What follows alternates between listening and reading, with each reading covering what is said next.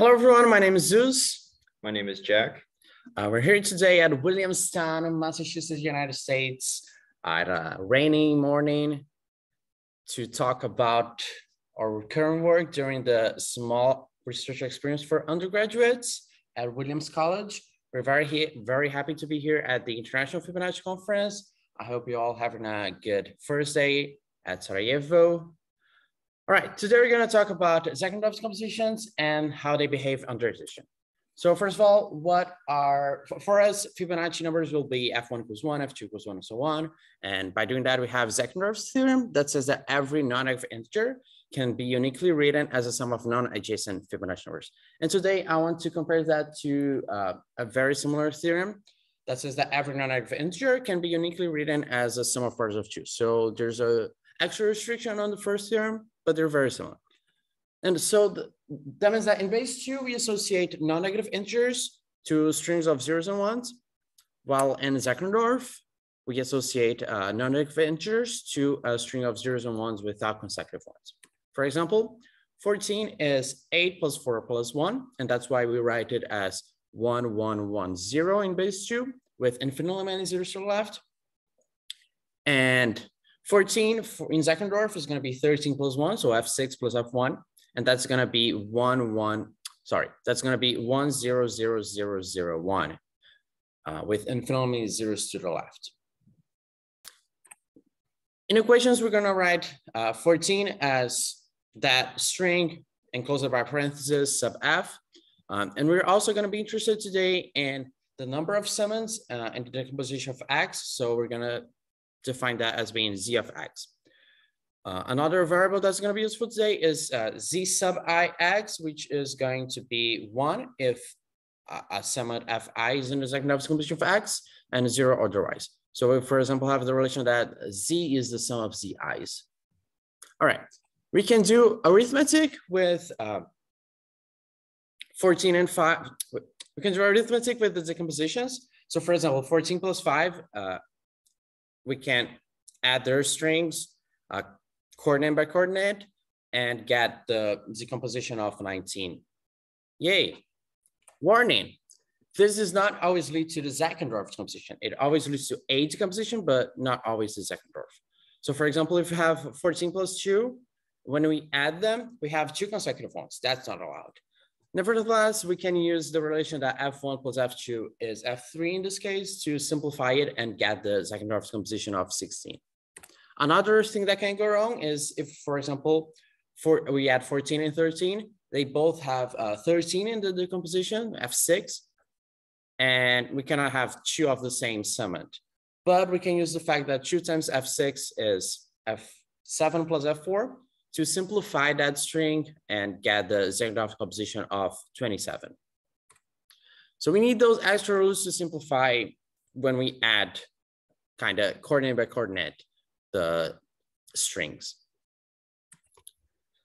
So there's this thing that a previous model group studied, which was a Zeckendorf game, which consists of moves, which are these simplifications that I explained earlier. So we change two consecutives to the next one. We change two F1s to uh, F2, two, two F2s to F1 plus F3, two Fi's for a larger value of I to Fi minus one, Fi plus one. Sorry, two Fi's to Fi minus two plus Fi plus one. There's a theorem that the previous small group proved that given any initial Fibonacci, initial state of Fibonacci numbers, so any sum that we give, if we apply those simplifications, those operations, the Zeckendorf game terminates, so we cannot apply those simplifications forever, and it terminates at the in the Zeckendorf composition. So that's another perspective that we get in Zeckendorf composition. Uh, how to get them? We can just play the game. All right, well, now let's talk a little bit more about the addition, how addition plays a role in that. Uh, so recall that z of x is the number of summands in the Zeckendorf composition for x. Uh, a first property that we have is that z of x plus y is at most z of x plus z of y. Why that? Uh, if we add, if we have the Zeckendorf composition of x and the Zeckendorf composition of y, we add them uh, coordinate by coordinate, kind of naively, uh, we get uh, zx plus zy summands. When we play the game, the Zeckendorf game, at the end of the game, we're gonna have the Zeckendorf composition of alpha x plus y, and we're gonna have zx plus y summands. But every move of the Zeckendorf game does not increase the number of summands. It either stays the same or decreases. So that's why the, this relation holds. What other properties uh, do, does this function z hold under addition? That's what we're exploring today. One way to think about that question is to fix a t and pick a random x represented by, just to be concrete, represented by a string of zero uh, uh, of size n. So for example, uh, not for example. So x is gonna have uh, a one in the nth position, uh, and that's gonna imply that there's a zero at the n minus one position, and we can choose kind of arbitrarily the, the rest. Um, this is equivalent to picking x uh, between fn and fn plus one. And as, as a side note that's going to be useful later, there are fn minus one of the numbers that satisfy this. So whenever you have n minus two consecutive, um, whenever I have n minus two consecutive digits in the second Zeckendorf string to select, the number of ways to do that is fn minus one. So our question is, how do we compare z of x and z of x plus t? Or more precisely, how do we compare this variable that I'm calling deltas, delta t of z? That, that is the difference between them. What is the distribution of it? Okay, so for t equals one, we can describe distribution of delta z exactly. Um, the theorem that we proved is that when x is uniformly chosen in that interval, as n goes to infinity, the probability that the variable delta z is one is going to be theta minus two, that it's zero, is going to be theta minus two, there's going to be minus one, is going to be theta minus four. And after that, it follows this, uh, our, this geometric progression with ratio theta minus two. We're going to prove today that fact for uh, t uh, for t equals one and l equals one. So we're basically going to prove that the probability that delta z is going to be one is feature two. Okay, so we want to count uh, to, to, determine how many numbers satisfy delta z equals one. That's going to be if and only if, uh, if z x plus one equals to zx plus one. And that's only going to happen if the Zeckendorf decomposition of x terminates with two zeros. Uh, because when we add them, if there's a, if there's a one at either location, a simplification is going to happen and the number is gonna the number the number of summands is gonna go down. And in this case, uh, this is only, only gonna change the zero to one, so we're gonna have a net sum of one. When this happens, this happen we're having to choose uh, n minus four digits in a Zeckendorf string. So by a shifting argument, the number of ways that this can happen is fn minus three out of the original fn minus one total numbers. Uh, the ratio is going to be, the probability is going to be the ratio, which is going to be fn minus 3 over fn minus 1. And as n goes to infinity, that tends to theta minus 2. A similar analysis is going to work for t equals 1 and arbitrary L. For arbitrary t, while we cannot des describe the distribution exactly, we can describe distribution for large enough values. And what happens in larger enough values is that uh, the same tail that we saw before. So after some point, there was a geometric uh, series. It, it, also, it also happens here uh, at a cutoff of around log t, negative log, log t.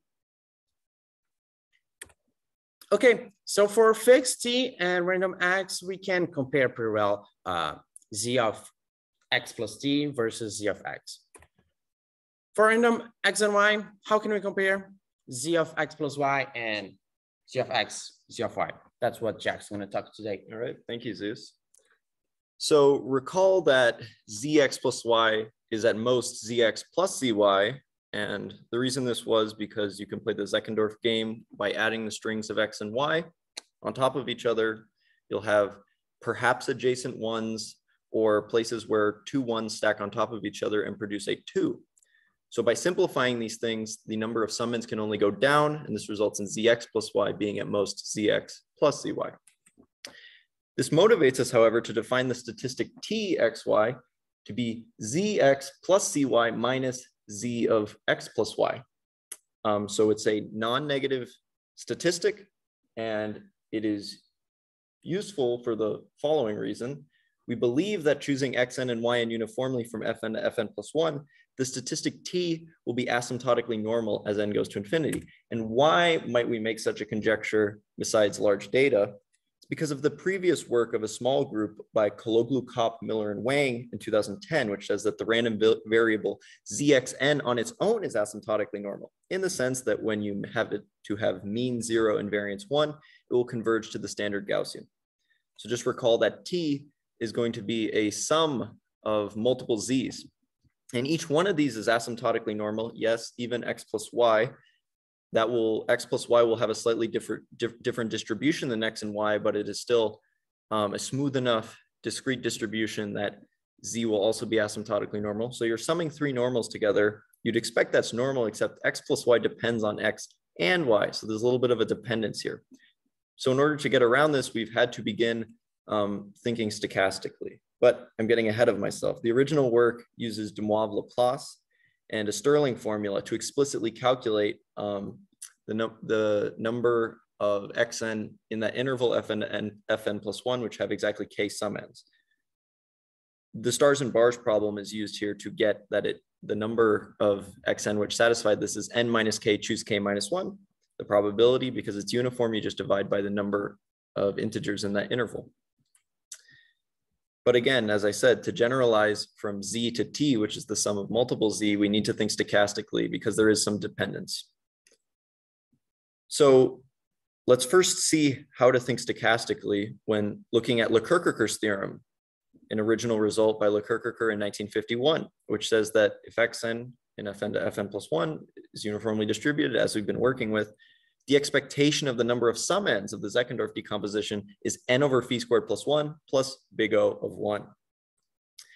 So an alternative way of proving this without using stars and bars problem, and which will generalize to other recurrence sequences, is that the number of xn, which have the ith Fibonacci number in the Zeckendorf decomposition is fi minus one, fn minus i minus two over the number of things in the interval. So by Binet's formula, this actually simplifies to one over phi squared plus one plus big O phi to the minus i error. So one can view these indicator random variables zi as Bernoulli random variables where the parameter is tending to one over phi squared plus one rapidly with exponential decay. So you can essentially think of them as, because they converge in distribution so fast, as you're summing multiple identical random variables. But there is some um, dependence between them. So if we want to prove this normality result from 2010, we need to show that the covariance is very small, that there's little correlation between these um, Bernoulli random variables. And in fact, it is. Again, expanding and doing combinatorics and then using Binet's formula, one will see that the covariance between ZR and ZS is exponentially decaying in terms of the distance between R and S. So if the indices are far apart, the behavior of those indices and the decomposition of a integer um, is roughly uncorrelated.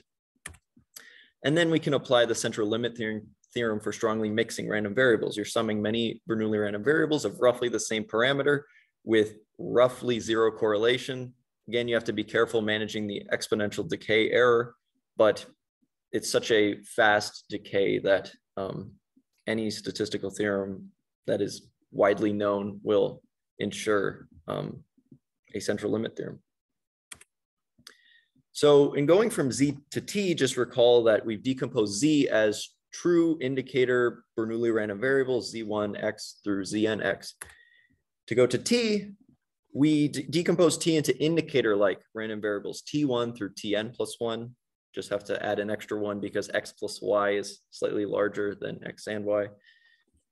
And these smaller random variables tj are given as zjx plus zjy minus zjx plus y. So now we sort of have an, a method of attack for showing that t is asymptotically normal. The first step is showing that tj rapidly converges as first we send n to infinity, meaning that you look at larger and larger string numbers while fixing an index, that will converge in distribution uh, the indicator um, roughly of the string there, what ones and zeros are happening at this location. And then once that converges in distribution, we send j to infinity afterwards. So we look at basically infinite string numbers, and then we move to larger and larger indices in these infinite string numbers.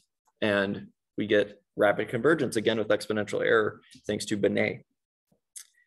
The second step is that, okay, we have these sums of almost identical random variables. We need some uncorrelated result. And this is, again, as you just move out indices, for larger and larger indices, we know the covariance, for example, between ZR and ZS, in this case, ZJ1 and ZJ2 will be uncorrelated, but there's extra work we need to do. And we need to be a little bit more clever in the, that extra factor of um, X plus Y. So then again, if you have an uncorrelated result, you can apply central limit theorem and that finishes a proof of asymptotic normality. So this key ingredient for the second bullet point, what new method might we need for um, uncorrelatedness? And that is long runs of zeros. So we have sort of a gap lemma that the number of integers where you have a run of L zeros in a row, where L is gonna be fixed as you send n to infinity. This is one minus big O exponential decay. And this C is coming from some auxiliary polynomial that we calculate, but either way, we get exponential decay. And this allows us to divide most integer strings into pieces. So you can write any x. So for example, here we just expect for most x, there will be a gap of five zeros. And then five zeros is enough that you can decompose x. Look at a string to the right of those five zeros, look at a string to the left of those five zeros, and playing the Zeckendorf game on each piece um, it's sort of like you're playing on independent boards because this gap of five zeros is too um, large for any ones to jump over. And as a final generalization, we believe that the statistic T, which is sort of looking at counts of indices at the jth index of X, the jth index of Y, and then subtracting what happens at the string for X plus Y, we believe this normality result will apply in general to positive linear recurrence sequences, such as the Fibonacci numbers with proper um, initial conditions, base B decompositions, as we saw with binary, even base 10, as well as pretty much any recurrence sequence with non-negative integer coefficients. One simply has to make sure that A sub n minus one has a positive integer coefficient. It can't be zero. There can be zeros in between as we see here. And then it just ends, for example, with 20, A sub n minus 17. Again, there are some canonical initial conditions that have been outlined in the research, but we believe normality will hold again by considering probabilistically um, large gap sizes, as we saw with runs of zeros. All right, thank you so much.